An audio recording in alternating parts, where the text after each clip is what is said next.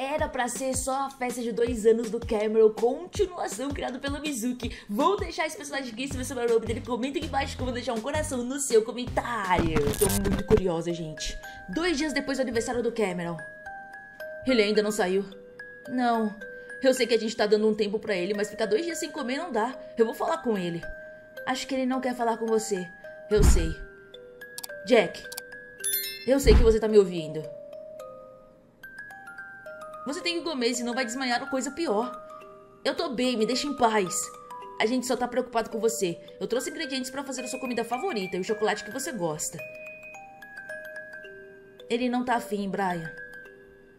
Eu sei, eu tô tendo um déjà vu. Cecília. Eu só não quero que aconteça tudo aquilo com ele. Tadinho. Aniversário do Cameron durante a luta. Temos que ser discretas. Isso eu já sei. Vamos dividir, são muitas pessoas. Eu fico com o Yuki e você com a Mora. E eu com o Levi e o Neita. Ok. Que bom que não vamos fazer a parte do Rai. Sim, é mais difícil que essa. Agora vamos, antes que alguém desconfie. Eita. Esse tá bem acabadinho. Que pena, eu não me importo. Falta mais um. O que, que ela tá fazendo com eles, véi?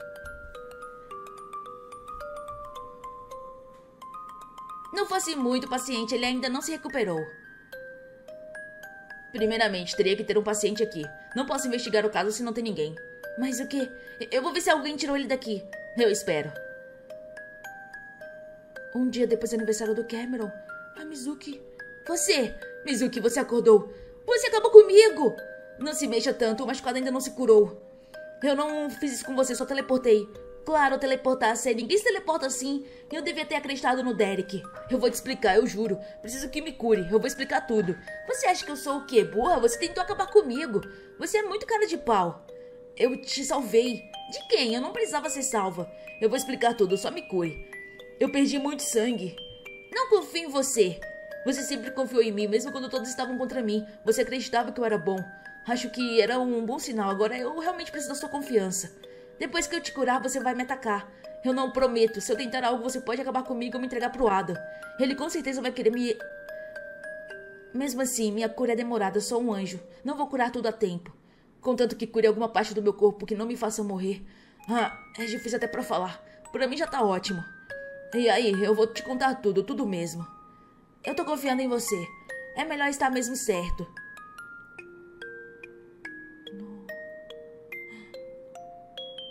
Não levanta, vai atrapalhar tudo. E você dorme, hein? Dormiu por cinco horas. Você tá fazendo isso cinco horas? Passou mais rápido do que imagina. O mais profundo demora muito para se curar, principalmente por dentro. Você me enfaixou de novo. É, não adiantou muita coisa, sangrou de novo. Tá bom. Acho que já é o suficiente. Ainda não curou por completo. Já está bom, eu vou sobreviver e você tem que se curar também. Eu me curei quando você desmaiou. Quem? Como eu tinha certeza que eu não morreria durante seu processo? Não tinha. Agora só tá a minha blusa cheia de mancha de sangue. Mas eu fico feliz que tenha se preocupado em me enfaixar. Né, eu fiz o possível para você parar. Mas você teve que tirar a minha camisa. Eu juro que eu não vi nada, fiz questão de não ver. Espero. Pronto, não tá totalmente pronto, mas você sobrevive. Obrigada. Com os estados são profundos, eles vão doer um pouco mais se você se mover. Você devia ter avisado antes, mas eu acho que eu merecia isso, né? Você prometeu explicações, acho que tá na hora de você me explicar. Ok, eu prometi. E estava esperando esse dia há muito tempo. Mas eu preciso que você confie em cada palavra que eu disser. Eu vou tentar. Então vamos começar do início. Há muitos anos atrás, o Derek tinha dois anos e o Rai tinha poucos dias. Certo dia o Adam me chamou para conversar, disse que a Emily tinha me traído, mas eu não acreditei, lógico. Era uma mentira, mas ele logo se desculpou e me deu o meu suco favorito. Limonada. Na época aquilo era um experimento, ele não sabia se iria dar certo e deu. Trocou a cor dos olhos do raio para que eu achei por ter me traído e não acreditasse nela. Mas a Emily me conhecia muito bem, sabia que ele não era eu, e logo descobriu que eu estava sendo controlado por ele. Mas ele proibiu de dizer uma palavra sobre aquilo, senão ele acabaria com nossos filhos e eu não pude fazer nada. Ele me fazia parecer um péssimo marido. Fazia coisas horríveis com a Emily frequentemente para que meus filhos achassem que era eu, e alguns anos se passaram até o olho do Derek ficar cego. Ele usa magia para esconder o olho. Ele sente vergonha dele e baixa autoestima. Tudo porque eu não pude fazer nada. Adam sempre me fazia beber limonada com medo de que um dia eu fosse solto. Fui controlada por anos. Um dia ele me soltou e me proibiu também de falar algo para alguém. Mas aí os meus filhos já eram mais velhos, quase adultos. Vocês já namoravam. E eu perdi toda a infância deles, por conta do Adam, que fez aquilo porque governei o reino. O governador foi decidido com desafios e eu ganhei a maioria deles, principalmente o meu. O povo me escolheu, mas ele sempre colocou a culpa em mim, além de ter roubado a Emily dele. A Agatha sabia na época. Sabia desde que viu meu corpo sendo controlado, mas também foi proibida de dizer qualquer coisa sobre. Mas como que você fez ela ser guardiã do raio sem poder falar com ela? Controlar um corpo não era nada fácil. Lembra da parte que eu bebia limonadas frequentemente? O Adam, quando descansava, deixava que eu conseguisse controlar meu próprio corpo, mas apenas se eu dissesse onde eu ia. Se tinha a permissão dele, eu poderia ir. Escrevia uma língua codificada para ela, dizendo para ser guardiã do raio. Ele descobriu o papel, mas inventamos outra coisa que estava escrita, e ele não sabe até hoje. Sabe aquelas comidas prontas que apareciam na barraca do Derek? Não era só a Emily, era eu também. Eu tenho algumas perguntas. Pode perguntar. Primeiro, que lugar é esse? Estamos no Reino das Fadas. Ai meu Deus, a Tinkerbell realmente existe. É, não diziam que esse é o reino mais protegido do mundo e que é quase impossível entrar nele? É. Então, como a gente entrou? Eu não quero ser presa por invasão. A rainha é uma velha amiga minha. Faz sentido. Ok, agora outra pergunta. Você me trouxe aqui tudo mais, mas por quê? Esse é um plano antigo meu. Adam fez a Agatha dizer qual seria o futuro do Derek, que era se casar com você, que era amiga dele na época. Caramba, vocês já sabiam que eu e ele iríamos ficar juntos. É, mas eu sabia que o Adam entregaria a limonada para o Derek em algum momento. E você sofreria igual a Emily, e eu não queria isso. E eu tentei separar vocês, coloquei a maldição em você para que ficasse mais longe dele. Foi por esse motivo, sabe quanto aquilo foi assustador? É, não, eu peço desculpas. Uh, às vezes eu tentei separar vocês e tentei te levar para longe do casamento. Mas eu sempre ficava com ele e me sentia um monstro por te tentar separar vocês. Mas agora eu consegui, você está segura.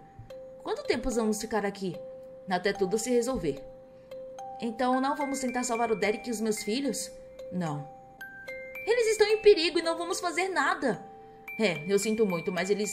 Eu não vou ficar aqui parada. Vou salvar os meus filhos e o meu marido. Você não pode sair do reino. Dois dias depois do aniversário do Cameron. Porque o Adam nos tiraria do hospital e nos curasse. Eu não sei, eu quero saber aonde a Bora tá. Alguém tá vindo. Pra trás. Você e a Sabrina duvidaram, mas eu consegui trazer eles. Tá, tá, ninguém te perguntou. Cadê a Mora? Só o Adam responde as perguntas. Esse clima tá horroroso, vou chamar ele. Não precisa, eu já cheguei. Nossa, caras são essas, ninguém tá sorrindo. Depois de tudo, espera que nós sorrimos para você. Relaxa, nervosinho, era só uma brincadeira. Agora eu sou o professor, falem suas dúvidas. Por que tirou a gente do hospital nos curou? Eu sabia que vocês iriam interferir, e já que não foram com a bomba, eu vou manter vocês aqui. E curei vocês porque se eu precisar de ajuda, vocês vão ter que me ajudar. Como se nós fôssemos fazer algo para você. Sabe, eu tenho uma sala igual a essa, só que com quatro crianças choronas e eu não quero ter que fazer nada com elas. Com esse silêncio, eu vou aceitar que entenderam o que eu disse. Cadê a Amora? Tive que colocar uma babá para as crianças, elas não sabem se comportar. Se nos curou porque o Levi ainda tá com a perna. Eu dei uma poção de cura para vocês, não um milagre. Mais alguma coisa? Sim, sim, guardem para si mesmo. Cansei de responder elas.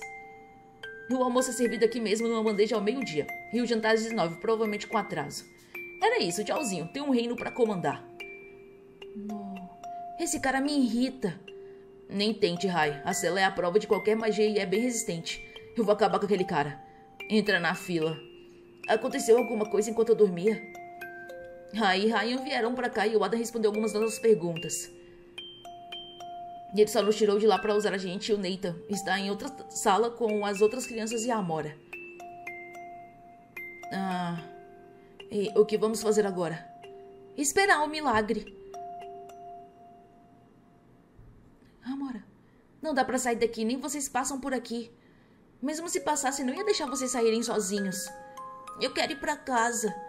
Eu também. Cadê a mamãe e o papai? Relaxem, vai dar tudo certo.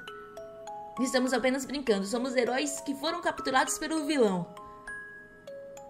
Então temos que tentar sair daqui para achar a mamãe e o papai.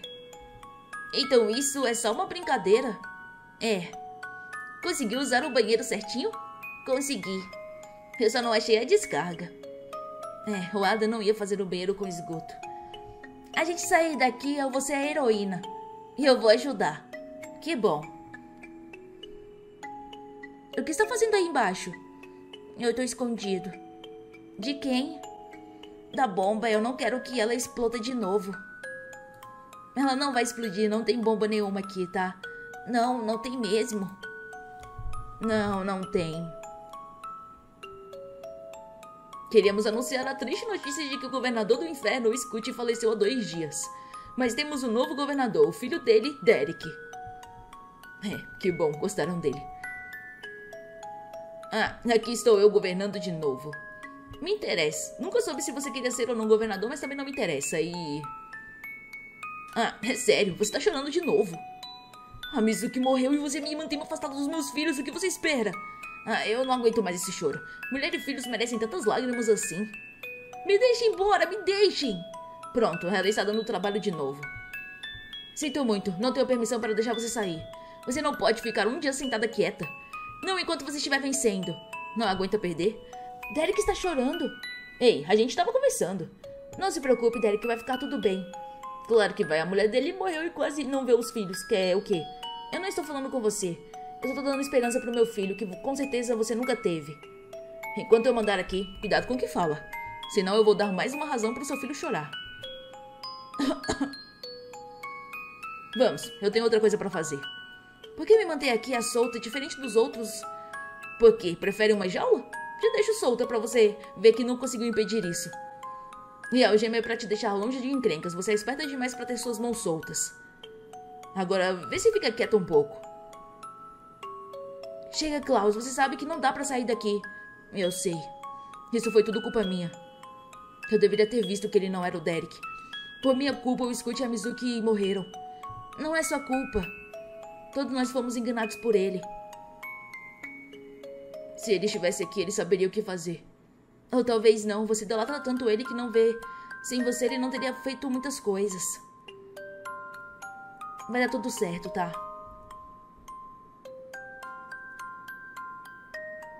Jack, você saiu do quarto finalmente!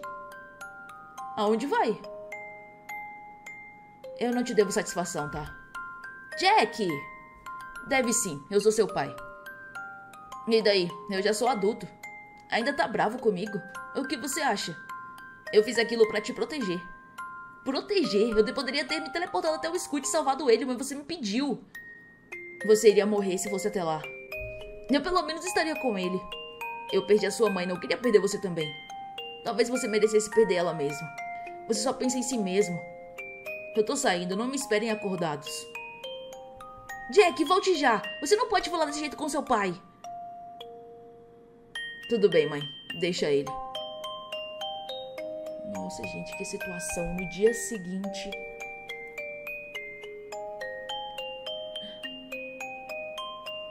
Dores de cabeça são normais depois de ter, principalmente depois de beber. Você que me trouxe pra cá? Não, foi seu pai. Ele te procurou a noite toda, sabia? E não dormiu até agora. Você fez igual ele, Jack. Depois que a pessoa importante morreu, vocês foram ao bar. Eu não queria ser igual a ele. Foi um impulso. Você sabe sobre o Scott? Seu pai me contou, contou tudo, até mesmo sobre o que você disse para ele ontem. Eu não queria ter dito aquilo. Eu só não. Eu só não aguentava mais saber que o Scoot morreu e então eu joguei tudo pra cima dele. Tudo bem, Jack. Perdas são difíceis de se superar. Chore quanto puder. Por que veio até aqui? Precisava saber o porquê que o meu secretário tinha faltado três dias seguidos. Alguém merece um pedido de desculpas, não é? Desculpa por ter falado aquilo para você, pai. Me desculpa. Foi sem querer, eu nunca quis falar aquilo, você não merecia a morte dela. Me desculpa. Tudo bem, filho, não se preocupe, eu desculpo você. Agora se acalme. Só não desapareça mais por horas, tá? Tá.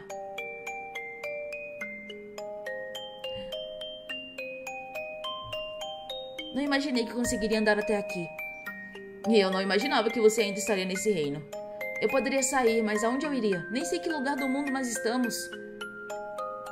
Bem longe, seria alguns três dias de viagem voando. E me trouxe aqui para ficar sem fazer nada enquanto a minha família sofre.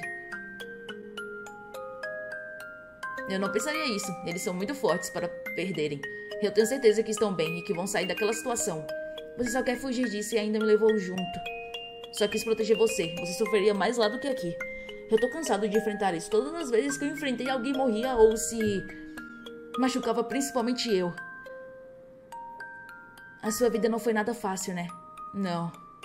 Eu entendo por que está fazendo isso. Mas e o Jack e os outros? Eles devem estar muito tristes por você ter deixado eles. Pelo menos eu não tô morto.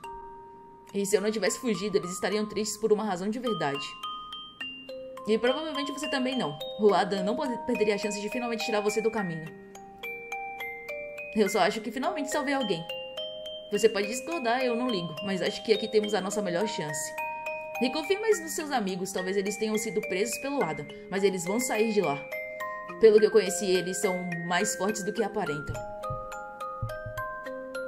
E eu amei a barraca aqui perto pra gente dormir. Se não quiser ver, tudo bem, pode ir embora até eles. É só ir pro leste e ir pedindo informações para as pessoas. Vai te ajudar mais. E tem roupa, água e comida na barraca. Pode pegar pra sua viagem se você quiser. Eita, então ele liberou a Mizuki. As roupas estão ali, eu posso pegar pra você.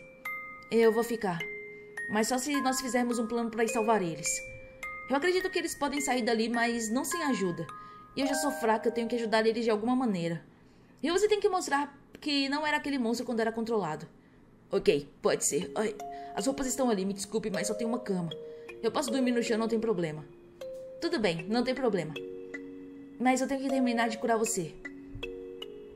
Ah, não precisa, eu tô bem. Fica quieto. Ah, obrigado. Obrigada por ter me salvado.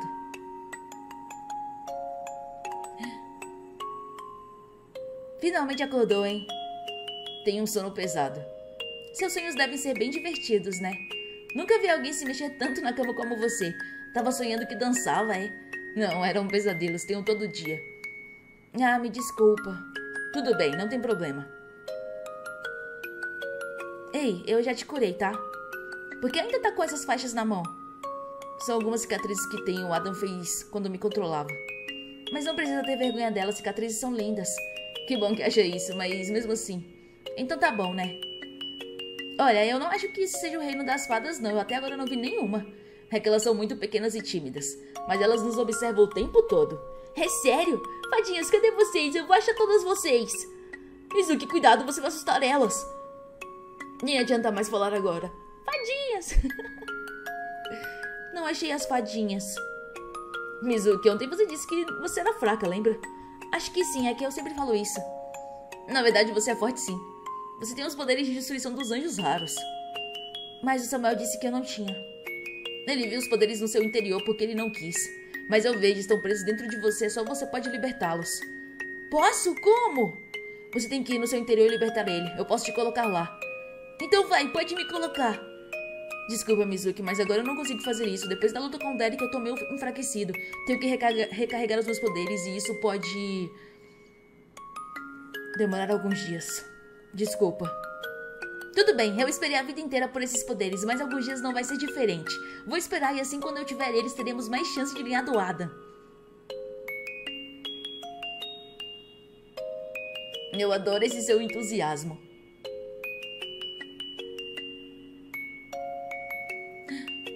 Quase você me venceu. Por pouco você não conseguiu. E nunca vai conseguir. Ninguém vai Continua, gente. Ele tá mantendo ela presa lá. E aí, será que o Scott vai conseguir acessar o interior da Mizuki para ajudar ela a liberar esse superpoder que ela tem? E será que com esse superpoder que ela tem, ela consegue salvar a família inteira? Eu já tô muito curiosa. Eu pensei que essa aqui era a parte final, mas não é. Ainda tem uma continuação. E sério, eu tô muito ansiosa pra ver ela. Não se esqueça de passar no canal da Mizuki, a criadora. O link tá aqui no primeiro comentário fixado. Deixa pra vocês lá que é muito importante deixar muito like, se inscreva no canal. Eu vou ficando por aqui. Muito obrigada a todos que assistiram e até o próximo vídeo. Fui!